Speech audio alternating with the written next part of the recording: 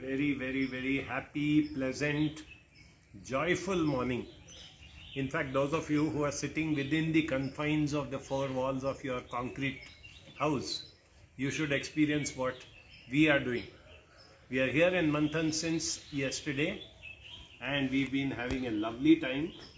Some of your friends sitting here refused to sleep also and uh, they kept themselves awake till 3 4 o'clock in the morning and yet they were fit and fine at 7 o'clock to go for a nature walk. That's something so different so unusual. So the question is that what makes our life how do we connect as you know today's topic? You know what connects us to nature? How connected are we to nature? What part do we play in nature of late, there have been some very interesting books, some of you may have read, called Sapiens, and two, three such books have come, which have described the evolution of living beings. You know, how life started so many millions of years back, and in the form of microorganisms, then they started growing, then they become animals, mammals, uh, you know, creatures in the sea, creatures who could fly. And as we are all aware, we had those huge dinosaurs which were so scary. And we had these little cockroaches which were only irritating and nothing else. But cockroaches survived for millions of years the dinosaurs died. So can you imagine what life is? Does it ever make you sit up and think as to what really life is all uh, about? And where do we fit into this total structure of life?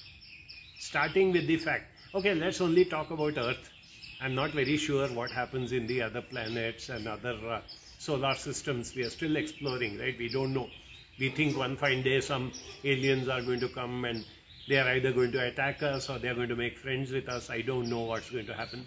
But as and when that happens, we'll see. Right now, let's talk about this beautiful planet called the Earth, which is part of the solar system of the Sun, and uh, we are the third one over here sitting. And we have the sun's radiations. As long as we are assured that the sun is going to keep on uh, giving its light and energy, we are all going to survive. Also, if the sun burns out today, it's going to take a few thousand years before the light and heat goes off. So we, our children, grandchildren, great grandchildren will still survive over here, even if the sun burns out uh, today.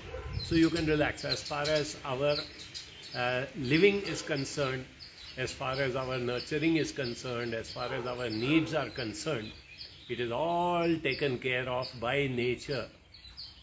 The only area which I think we should be concerned about is where we are destroying nature. Again, from the evolution, we kept on moving, moving, moving, and we became Homo erectus and Homo sapiens and Homo something I am not going into the details of that. But we evolved into what we call as the human beings of uh, uh, today, right? Now, from that time onwards, please remember, they survived. Our great, great, great ancestors did not have any of the facilities that we have. They did not have gas connections in their kitchens. They didn't have kitchens. They did not have fridges and microwaves. They did not have Swiggy and Dunzo to get them food and to deliver pizza to uh, them. Yet they survived, right? They lived happily, they grew, they prospered, they evolved over a period of uh, time. They lived in caves and they made all those funny, funny drawings which have been preserved for us, showing what sort of lifestyle that they have uh, led over there. So when human beings first came and evolved, like any other being, so many of them have evolved in different ways, right? Human beings also kept evolving or whatever, and we came close to what we are uh, today. When that happened, we could have very easily and happily merged with nature. We could have created a balance in nature. Just see beyond human beings almost every living being learns how to find its place in that hierarchy of all the living beings. Be it animals, be it plants, be it birds, be it insects, they all fit in beautifully. The smallest of the creatures that we see around are ants. Do you know that there are trillions of ants existing in this uh, world? In fact, the way we give so much importance to democracy, we say those good old days of the kings and dynasties are gone. Now we must determine, we must have self rule. So we must elect our leaders, we must have democracy. And only those whom we elect will be the people who will govern the country. Now, if we were to impose this uh, concept of adult franchise, that means everybody has a vote. That's what we say in democratic countries like India, isn't it? If we were to extend that to living beings, do you know that the ants will be 10,000 times more in population? There'll be 10,000 ants to one human being. What do you think are the chances that any human will become an MLA or MP or a uh, minister? They would be ruling us. And how is it that they have uh, uh, survived? Such tiny creatures, so many times we don't even realize we are walking and we stamp a row of ants going and 10 or 20 ants die there and then.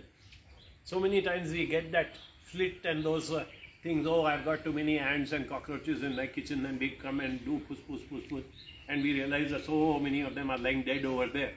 Just give them a few days time and they're all back and they're happily enjoying their uh, uh, life. Taking all that into consideration, I think one very basic blunder that we have done is that we have moved away from nature. For some reason, we decided that we are the superior race. We are the people who will look only at ourselves at the cost of anybody uh, else. We decided that if there is any living being in this world, it has to serve our purpose. Plants were growing for millions of years before human beings came in. There were fruits on the uh, trees, and so many living beings used to come and eat those uh, uh fruits. But we started growing only those plants which produce the type of fruit which we want. So we started going against nature. We said every plant should be subservient to us. You plant a seed and a nice flowering plant comes up. But next to that, some weeds come. And fatak, I go and pull out all those weeds and throw them away. Why? Well, I don't like looking at weeds. I want to look only at those pretty flowers. So I decide who will live and who will not uh, live. Please reflect over it. It sounds bad, but look at our cruelty. What has that weed done to us? What has that you know, insect done to us? That we continuously decide to eradicate them. Those of you who take interest in these matters will know that the amount of living species that are going extinct in the last few decades surpasses the extinction that happened in the last few centuries or thousands of years. Those who survived for thousands of years are not being able to survive for a few years now because the way we are urbanizing, the way we are you know, eradicating and the way we are creating such difficult situations for them that they cannot even live. We take up one odd project here and there in India, we took up this project called Project Tiger because we said tigers are getting extinct, tigers are majestic animals, and we need that. Why do you think we are doing that? If you ask any good zoologist, he will tell you. He will list out at least a hundred different species which are going extinct in India, which we have right now. They are thriving, they are living, but we are increasing the you know, speed at which we are making them extinct. Take a simple thing like what we call as that house sparrow. Those of you who are old enough will remember every house, everywhere there used to be sparrows, right? Today, do you see a sparrow near your house or in your balcony or in your garden or wherever uh, you are? In a city like Bangalore, you can see sparrows in the international airport, but you don't see sparrows in your garden or your compound or your uh, uh, balcony. Are we really concerned about them? No. We are concerned about the tiger. We will spend millions of rupees. We will organize programs. We will do this. We will do that. Why do you think we are so concerned about the tiger and not about the uh, sparrows? Because the tiger gives us a sense of strength. I, the human being, am preserving this poor tiger. It is not for us. I mean, it is for us. It is not for the tiger. So even where we are actually taking care of, you know, preservation, people are saying we want to do forestation. Forest cover has gone off. So we are going to plant so many thousands of trees. We select the trees. How do we select? Based on what that ambience needs or that area needs? No. Based on what we as human beings uh, need. What is the thing which is most suitable to us? We are going to plant only those plants. We are the ones who are dictating each of these things. Okay, you want to do it, fine. But what is the outcome? Have you thought of that? What actually happens if we continue on this uh, uh, path? We can, for a short while, be very happy thinking that, okay, I am getting rid of unwanted things. I am pulling out the weeds and throwing them away. I am killing the cockroaches. I am removing this or that. Where are we headed? From our own selfish point of view, if I have not learned how to blend with nature, it is not very far off that nature will decide, okay, you don't want me, I don't want you. And believe me, nature is not a hundred times or a thousand times more powerful. It's a million times more powerful than us. It can wipe us off in no time. Take a simple thing like tsunamis. You re- still remember when the tsunami had hit the uh, you know, eastern coast around Tamil Nadu and all those uh, areas overnight without warning. How many people died? How many people became homeless? How many people lost their livelihood? One fine day, the sea says, Okay, all these years you have been taking advantage of me. You come in when you want to, you do your fishing, you bring these huge uh, ships and crews uh, over me. You do every possible thing. You pollute me. You throw all sorts of rubbish into the uh, sea and you expect me to tolerate it. And one fine day the sea says, okay, I'll just give you a little taste of what I can do to you. And the sea converts into a tsunami and just lashes for how long? For a few hours. And then it goes back. Okay, I'm back to my normal uh, self. I will lead my own life. But what has happened to you? Have you learned a lesson? Forget about tsunami. Take a city like uh, Bangalore. Just last week, areas and areas and areas and localities were flooded. Now, we are supposed to be living in a metropolitan city where we are supposed to be having drainage facilities and this and that, all those things to be taken care of. We build these huge concrete structures thinking that we are very safe.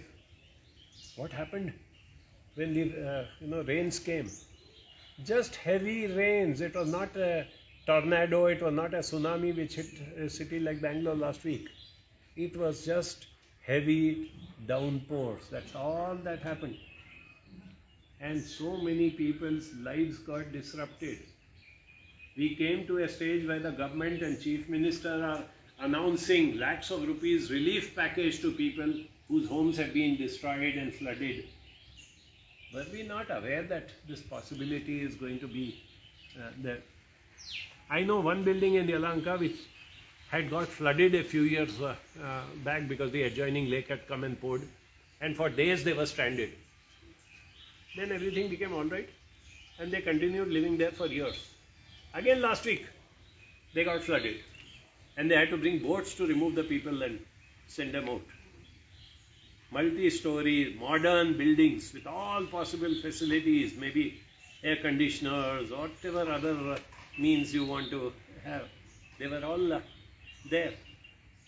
But a simple thing like stepping out of your apartment which costs a crore of rupees, going into your car and starting your car and moving out, you could not do because your car was flooded, your ground floor or your basement was flooded, and the disaster relief uh, organization had to bring boats if you had to go out of uh, there. Now, what happens in reality? this happens, we make a hue and cry. Government comes in and tries to provide uh, relief.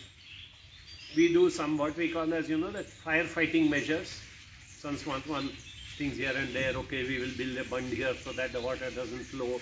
We will raise the height of these. We will provide one outflow there, or we will put some pump in the basement. All these things we do without realizing that finally we have to look into how much partnership we are in with nature. It is just plain, simple water, nothing more than uh, that. And we are not able to live in harmony with them despite spending literally crores of rupees for our housing. Everything else is taken care of. The way we build our houses, our structures, and the minutest details that we go into to provide the necessary luxuries. But have we taken care of nature? No, we have not taken care of them. Even houses for that matter. Long time back, I was used to be fascinated with the way you know houses were made, how people used to take into account that this side it gets very hot. Afternoon sun comes and hits here, so we need some buffer over the, uh, here. We need to allow for this and that. We need to have some cross ventilation so that the breeze goes through the house. I've lived in that uh, environment and that uh, awareness of people. And then what happened? Fans came, air coolers came, and then air conditioners came. And they said, why do we need natural air? Why do we need cross ventilation? How are we bothered whether the sun is, you know, beating down on the walls or the roof? We are going to just switch on our air conditioner and we will maintain the temperature of what we want. I really feel sad that this is what people are getting so overconfident about. We don't even consider it necessary to take that into account at a time when the amount of money that we are spending, be it for our roads, be it for our infrastructure, be it for our buildings and houses and everything, the only thing that we have forgotten is that we are not take, blending ourselves with nature.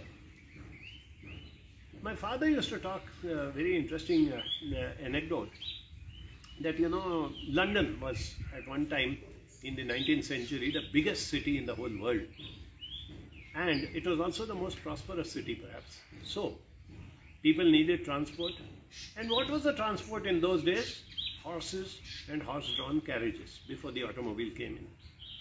So everybody used to be either riding a horse or going in a carriage which was pulled by uh, horses.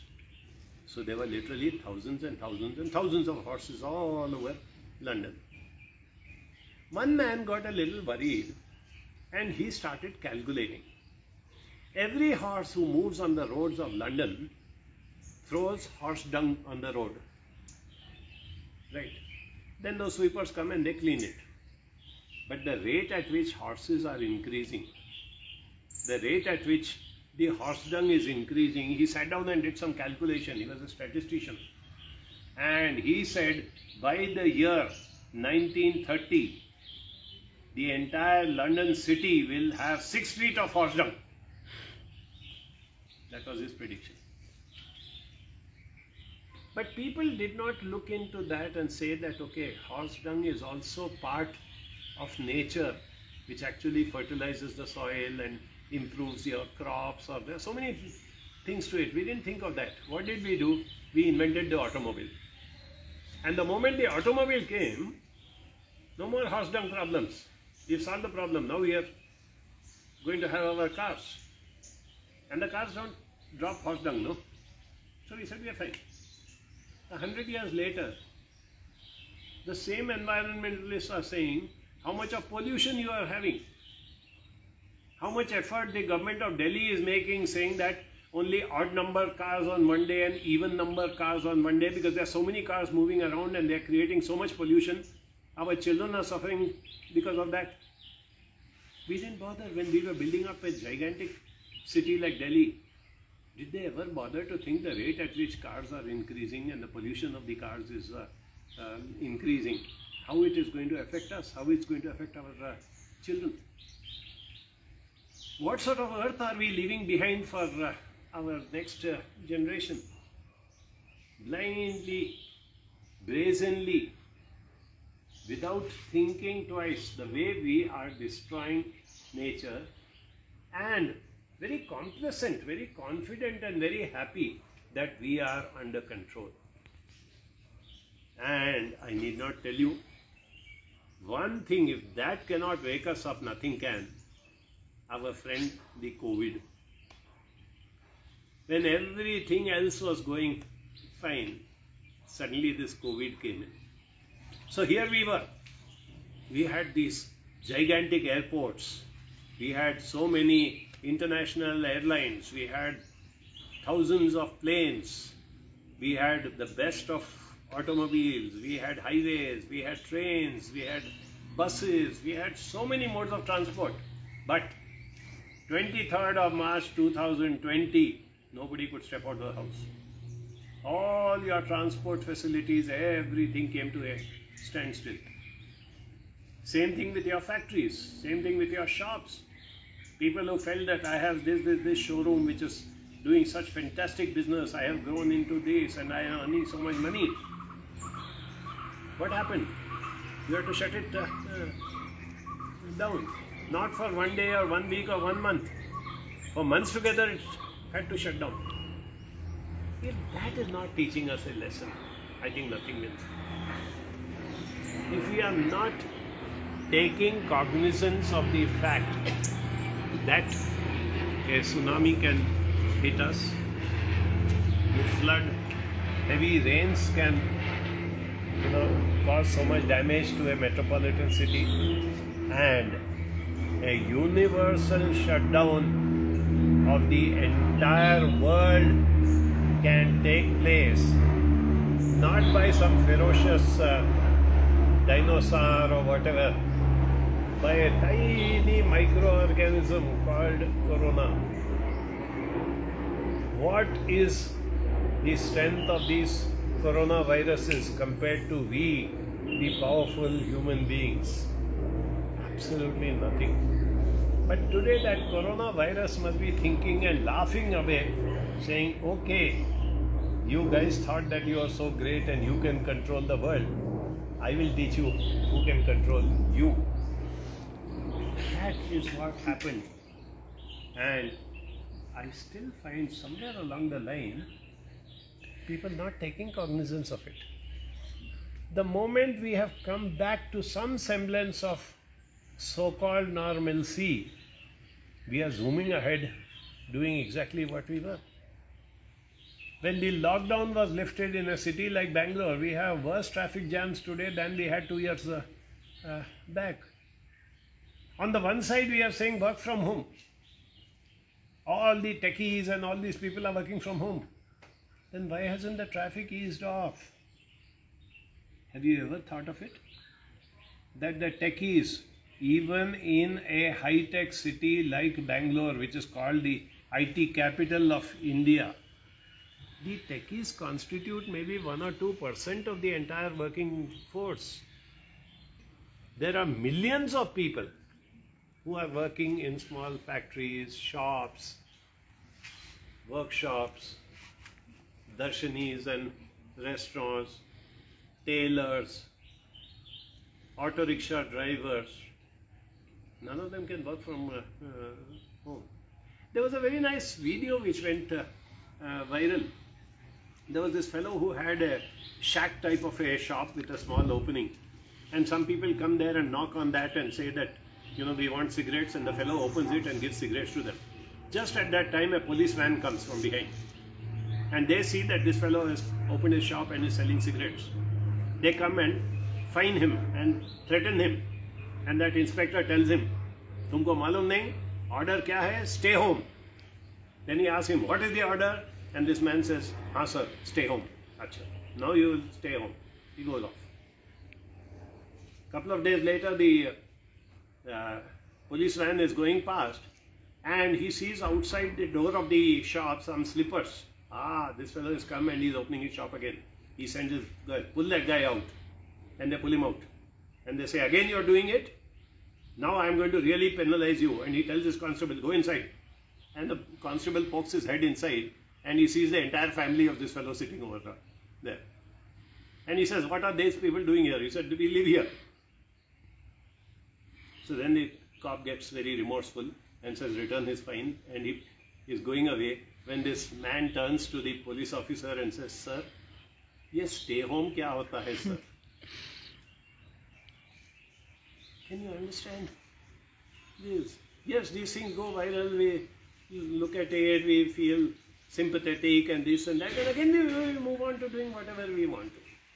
Unless and until we learn how to blend with nature in every possible way. Right from my childhood, just to give you an example, my father and my grandfather always used to tell us if we leave a room and are going out, the fan and light should be switched off. Those good old days, there used to be one bulb hanging from the roof. Fans were not used at all in most of the time. But that one bulb that was there, if I were to leave that room and go away, I would get a firing. That do you know that this is a natural resource of the country? When you have the facility, you have electricity available to you, you should be thankful. But when you're not using it, you should switch off the bulb.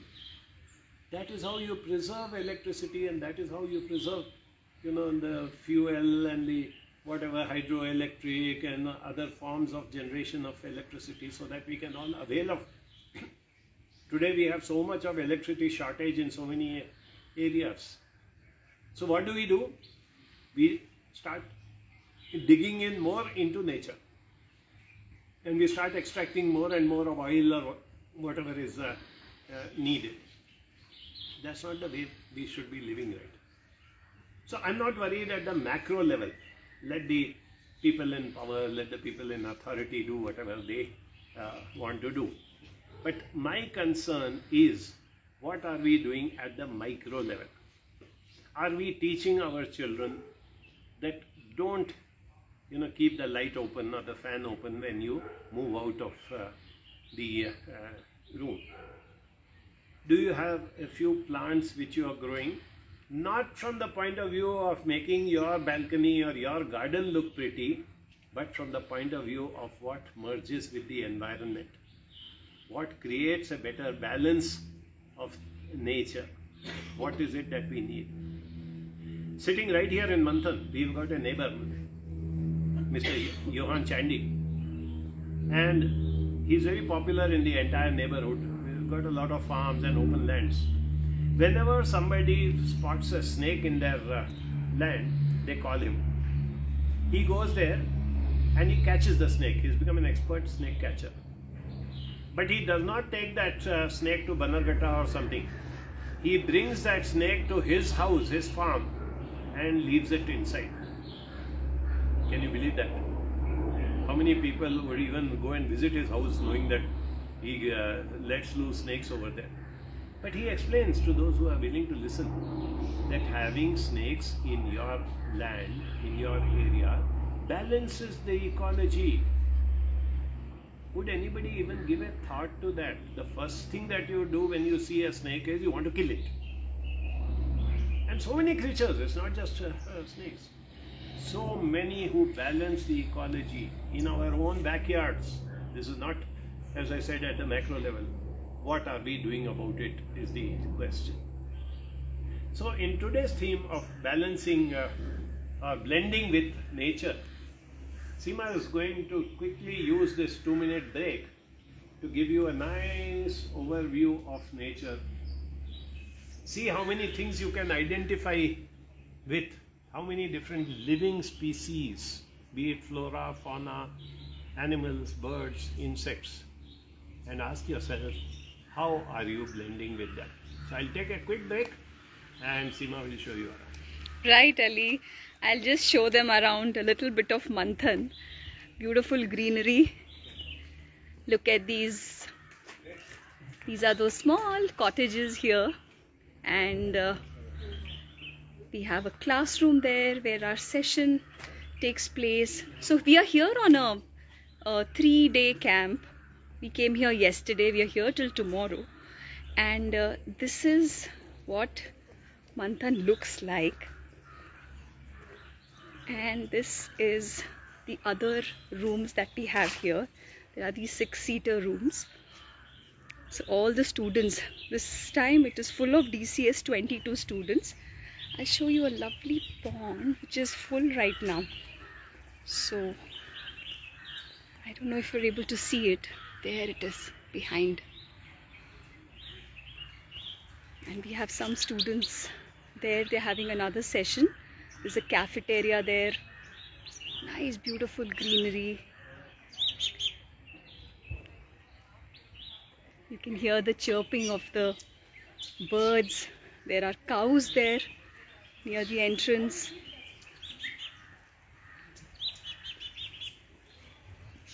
There are dogs, there are different different types of species like Ali was saying. Look at these fruits so there are guavas and look at this little one here. It's a pleasure. It's totally a pleasure to spend time here, especially a weekend. Ah, look at those two people who have adopted us.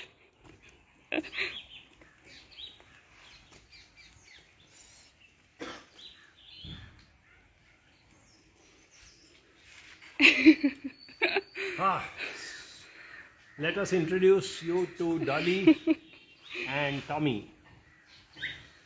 They don't belong to us. They are not our pets. As I told you, most of us who are, let's say, we claim to be animal lovers, what do we do? We go and get a high pedigreed dog, pay tens of thousands for it, get it into our house, provide it with the best of veterinary care and the best of branded foods and everything and take care of it. And we say see i'm an animal lover. And when i'm taking my dog for a walk if some stray dogs come close i take a stick to beat them up and say get away from my uh, pet am i really an animal lover? Ask yourself that question. Why am i spending so much money time energy on my pet because it is not pet which is important, it is my which is important. It is also a position. That is not the way of, you know, taking care of the different species. That is not the way where you say that yes, I am also interested in the other uh, species. No, it doesn't work uh, uh, that way. Now, these animals that you saw just now, they are there all over the place. They will be in and out of uh. They will come when they want. They will go. I have taught that to the dogs because other species don't uh, do that. So we have some very nice, uh, you know, comments that have uh, um, come in. I really appreciate those who have said it for the benefit of those of you who are sitting here. Ali uh, uh, Madhavilata has Yeah. uh, said that you know, good morning, all beautiful green, lush, natural background and bird chirping, so lovely. Yes, yes. Yeah, yeah. Normally, you know what we do? Oh, these birds are disturbing. They're creating too much of a racket. So let's go inside the room. Do we realize the pleasure and the joy of the fact that you have, you know, birds around uh, you? And can we also accommodate them in uh, to our uh, lifestyle? That's the type of thing that we need to look into. So here we have some nature lovers. Karan, you have something to say? I had a question. So, what is your opinion on population density? Consider we are a high population, so a huge population. How do we tackle this? Because uh, during independence we were 33 crores, now we are 1.35, and humans like humans are not the solution. Humans are actually the problem. So, how would you say we sort out this issue at a national and also maybe global level? the number of human beings and our concern towards them is the same as the number of ants in your uh, uh, kitchen or the number of uh, cockroaches in your bathroom or whatever. I personally, if you ask me, am a believer that nature takes care of itself. I was mentioning to you about London, those of you who are history buffs will know that London became such a big city, far bigger than any other city in anywhere in the world, and it became so congested. Houses became, you know, cheek to cheek, huge buildings with not a square inch of space left between them. And people were wondering how will people survive in London? And the great fire of London took place there was this massive fire which went from one end to the other. And tens of thousands of houses were razed because houses in those days used to constitute a lot of wood. So it was very easy for them to burn. Now, do you think that London was wiped out and people uh, just had to disappear? No. London picked itself up. And new buildings came up which were far more suitable than the old buildings which were so congested and London again continues to be a prosperous city. So somewhere I'm a believer that nature takes care more than what we have to worry about. How are we worried about what is happening? You take care of your family, your house, your population or whatever uh, it is. I am personally not the type of person who looks into the macro picture. Right, Ali. Now they are really interested. We just took them around. Yeah. So they're like, I'm very badly missing Manthan and Team Banjara. And Harish is asking, which place is this? Oh. Harish, does it really matter which place this is? There are millions of places like this in this world. Millions, not less. All you have to do is to find your own little Manthan wherever you are. It's not difficult at all. You have to have that mindset which says that I'm not going to be cooped up in my 2 BHK, 3 BHK on the third floor or 13th floor. I'm going to go out and be with nature, and nature is still thankfully everywhere around us. Like Karan asked, you know, we are having this huge population explosion in India, but India still has some of the best natural spaces. And they are not thousands of miles away, they are around the corner. Where do you think we are? We are not even 45 minutes away from the heart of Bangalore city. But if you come here, you got all the joys of being part of nature. And how many people come here? This is an open invitation to all of you. This is not a resort where you have to pay 10,000 rupees per person per day and something of that sort. No. You pay us 10 rupees, we are happy. Contribute towards the upkeep of this uh, place. Come and enjoy yourself. Nobody is going to stop you. This is an open invitation to come and just come and spend a few hours over here. Stay overnight to get the feel of what nature can offer you in the daytime, in the evening, in the early morning. Last night we had such a wonderful campfire. So the warmth of that fire and some lovely people, amateur singers singing for us. That's what life is all about. But you know what? I'm very busy. I have too many things to do. I can't get out of this uh, uh, thing. The more you try to trap yourself into that, the more you are going to suffer and the less you are going to be enjoying. Right? Right. Some more busy people sitting here. Yeah. yes. yes, Savita. Yes, Savita. Go ahead. Now I am at the Manthan, the birds chirping on the green tree. This is what make me maybe weekends and maybe almost every day heaven. Wow. Lovely. The village atmosphere is really good. We enjoy cool breeze and beautiful sight of the green farm. Lovely, lovely, Sapta. Wonderful, wonderful. Yasmin, you want to pitch in? You had something to say? Yeah. You say that uh, Manthan is just 45 minutes away from Bangalore, I was just thinking that with the smart city work going on in Bangalore and the trees being uprooted, I, I don't know what what the next generation or even we are going to suffer in this time. What we are going to suffer in future, why are we worried about it? If today Manthan is there and yesterday we took 36 minutes from RT Nagar to reach here, not 45. And that too in the evening traffic. We left at 5 o'clock in the uh, evening. Normally, you know, after 5 traffic gets heavy. Probably if we had left at 4 o'clock, we would have reached faster than uh, uh, that. It is there today, it is available. Yes, tomorrow it is going to get worse. And why is it going to get worse? Because we are making it worse. We are getting more concerned about building high rises, building malls, building whatever, you know, those sort of uh, concrete jungles. And we are not learning how to you know, take advantage of these things which are still existing over uh, uh, here.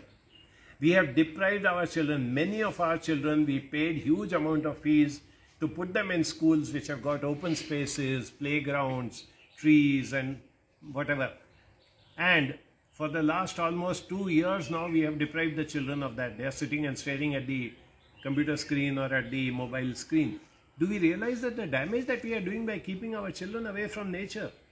They will not even realize what is uh, happening.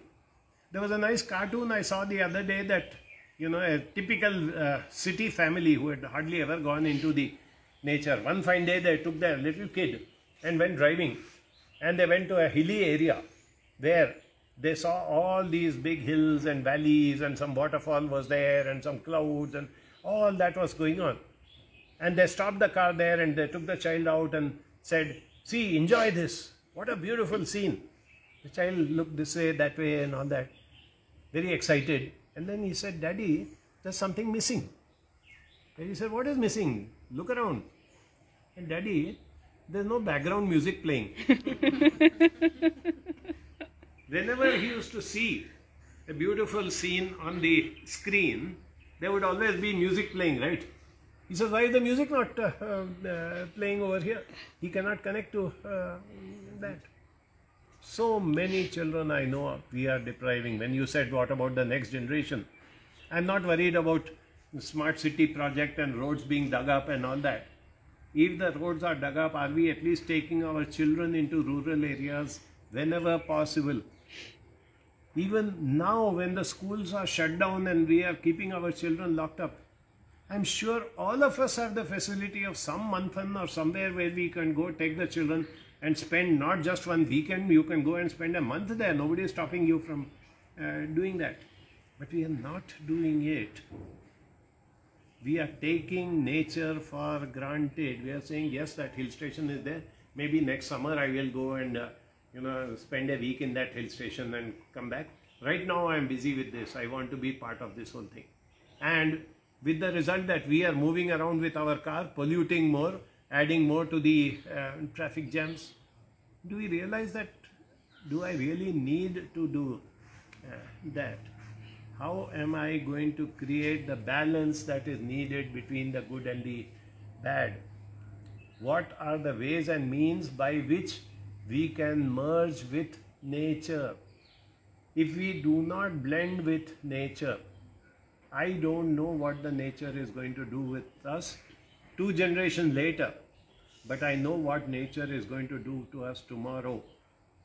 If we have not learnt a lesson from the tsunamis, from the flooding of basements, from the COVID, from all these things, just take the last few years, just the last few years, and see how nature has been giving us warning after warning, warning after warning.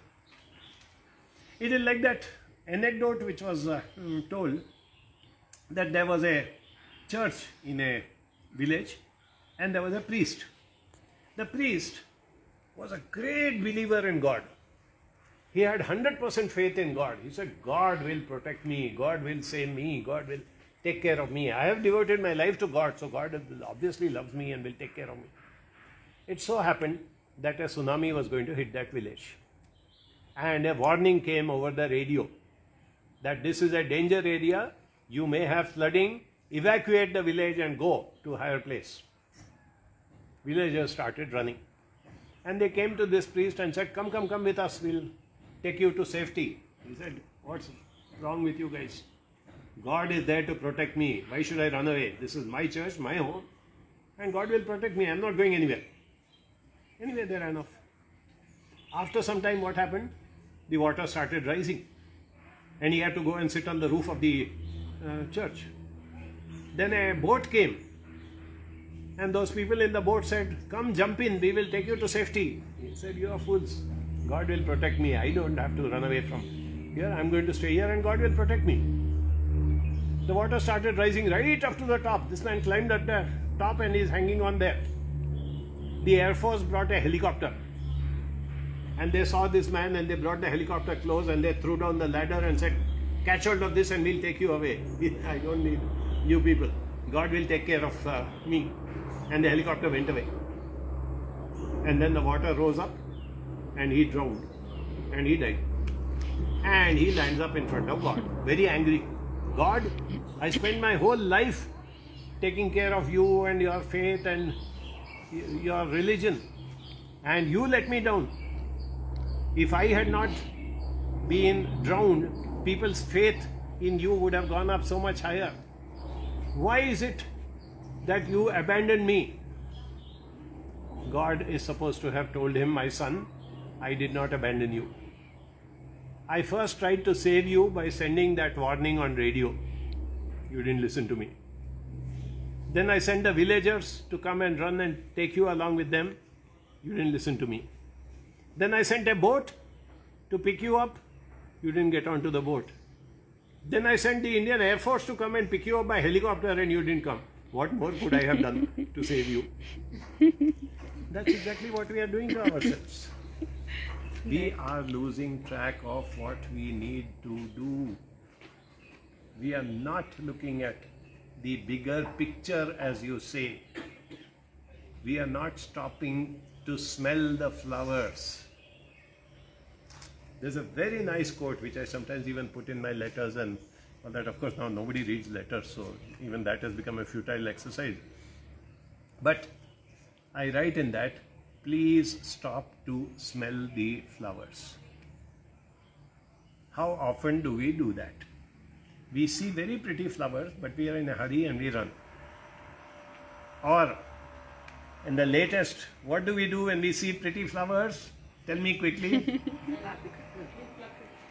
Click photo. Click a photo.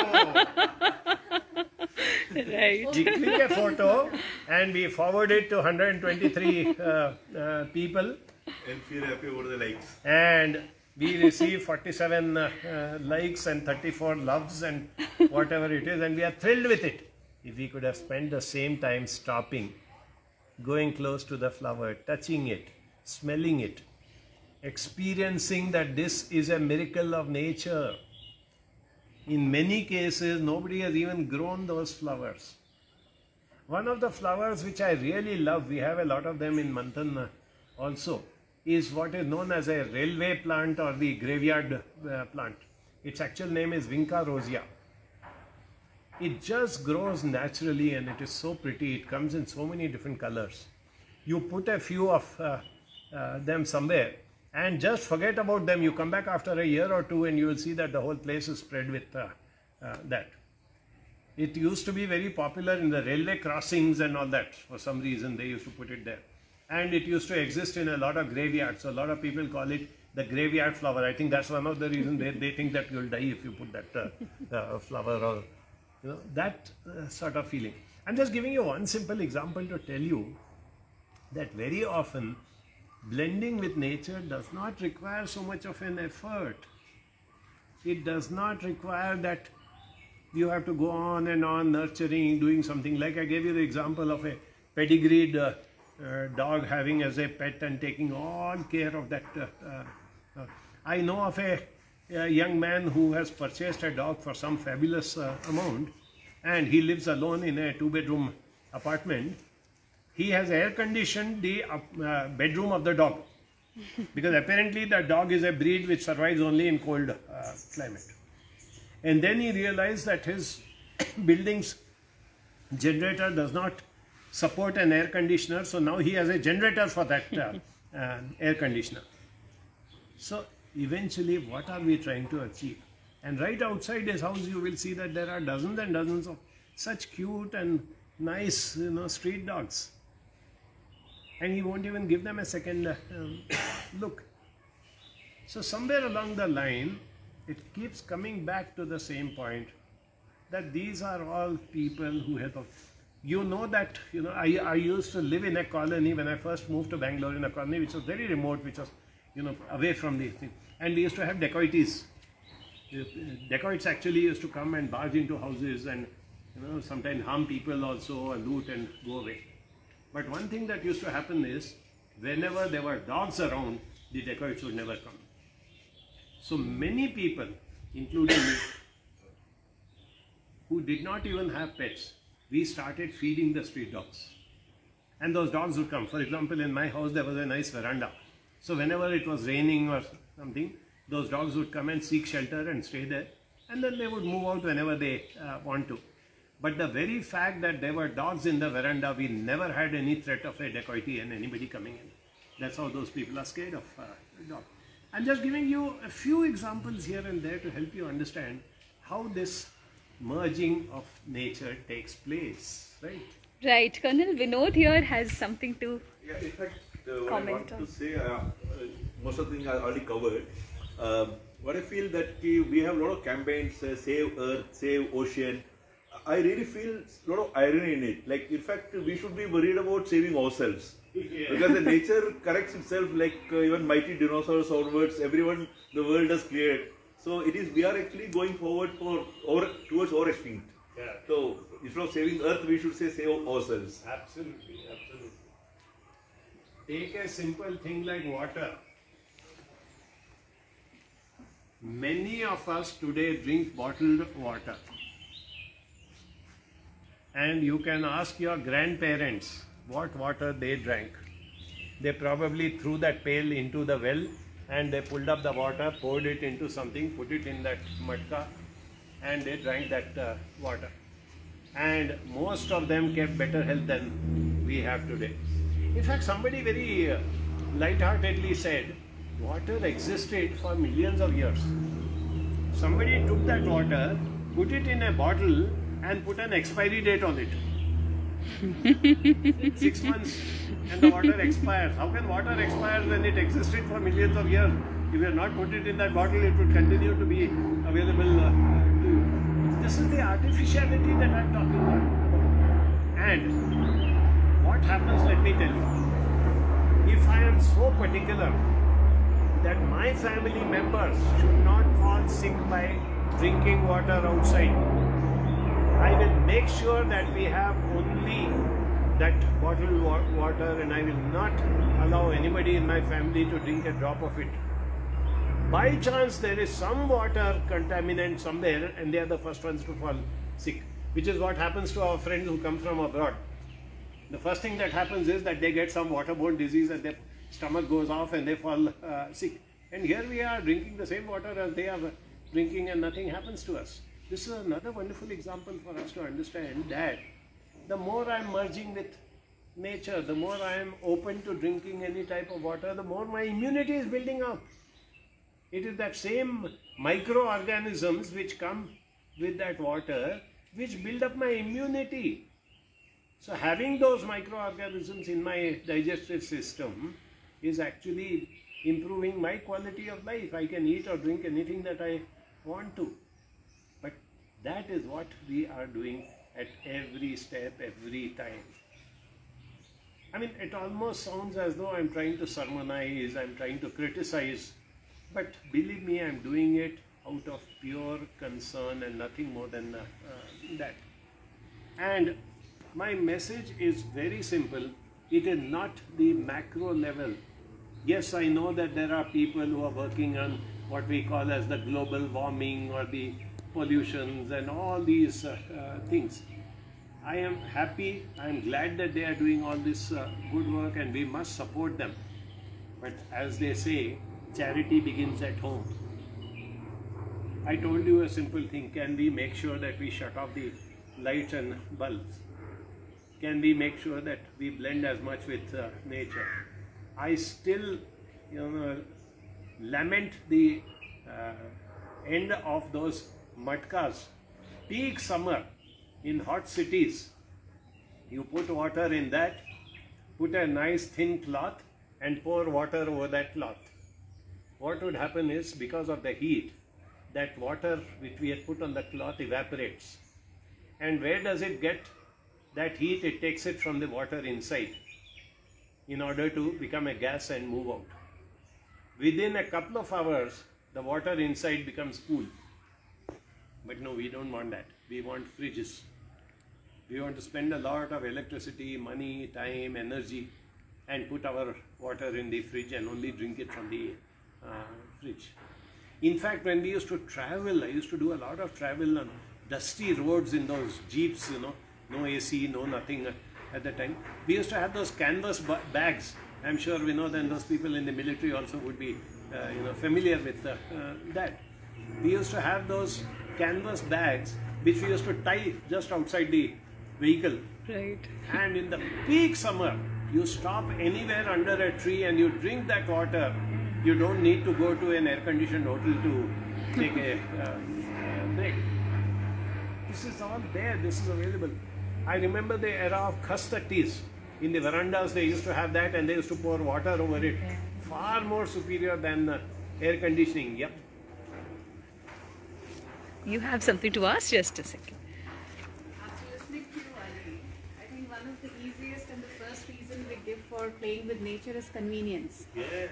But most of us forget that the convenience first word is con. So we are conning ourselves. That's a good one. That's a really good we are conning ourselves by spoiling the nature around us. Lovely. Ali, uh, Balaji is saying very valuable contributions and learnings. Dr. Ali, thanks so much. Thank you, Balaji. I really look forward to people like you. I'm not interested in numbers. I don't know how many hundreds or thousands of people uh, watch this video. It really doesn't matter. I don't want this to go viral or whatever. Each one of you who is either listening or who's physically present over here, if you can take this little message and spread it to two or three people who are like-minded and who will listen to you, I'm more than happy with uh, uh, that. Let us do it one step at a uh, uh, time. It does not really matter what the numbers are. Right, Ali. Roshan also so we have has. the last yeah. question now. Right, right. Roshan. I want have. the sparrows back. Oh, Uh, okay. they Who were can there get? in my house. I, I'm living in a very old house. So previously they would come and build a nest, which would give us so much of pleasure. But nowadays, not a single sparrow is to be seen. Yeah. How to bring them back? Hmm. Yesterday we had sparrows and the sparrows are gone. Today we still have pigeons in most of our localities. One fine day we'll say, we used to have pigeons, now those pigeons are gone, how do we get them back? Then the crows will go, then somebody else will go, and that will be a sequence which is going to destroy us. Let me end up with a very touching quote. There was this pastor called Niemöller in Germany when the Nazis were on the rise. And he quoted something very touching. He said, when the Nazi movement started and when they started, you know, torturing people, he said, first they came for the Jews, and I was not a Jew, so I didn't protest. Then they came for the communists, and I was not a communist, so I didn't protest. Then they came for disabled people, and I was not disabled, so I did not protest. Then they came for the Catholics, and I was not a Catholic, so I did not protest. And then they came for me, and there was no one left to protest on my behalf. So we don't bother about the sparrows, then we lose the pigeons. We still have a lot of squirrels even in our concrete jungles. Just sit out in your balcony and you will inevitably find a couple of squirrels scampering away happily. They don't care whether you feed them, whether you look after them, whatever you do. They blend beautifully. Even with the concrete jungle, they still have learned how to blend. But one fine day when they are gone, then we are going to say the same that Roshan said just now. I want the squirrels back. And the squirrels are not going to come back. And we are going to be left alone, lonely, and miserable in this atmosphere. So please take up this little thing, not because I am saying it, not because of anybody else, but for your own sake, for the sake of your family, for the sake of your environment. Please do whatever little each one of us can do. Let us start the process of blending back with nature, and believe me, the sparrows will come back. Right, you, Ali. Thank bye. you so much. Thank you, all of you, for participating. I'll just take a quick walk here and we'll close it. Right. Just to take another peek at our Manthan.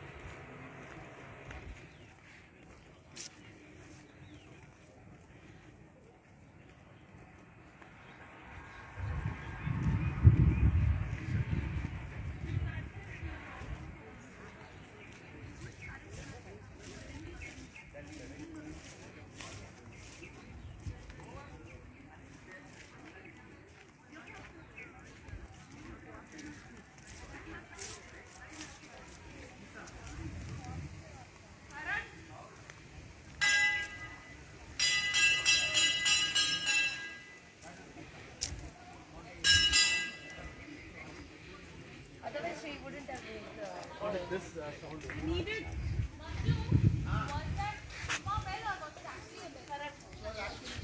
Did you see? Twelve fifteen. We are assembling. Lime juice. Lime juice, huh?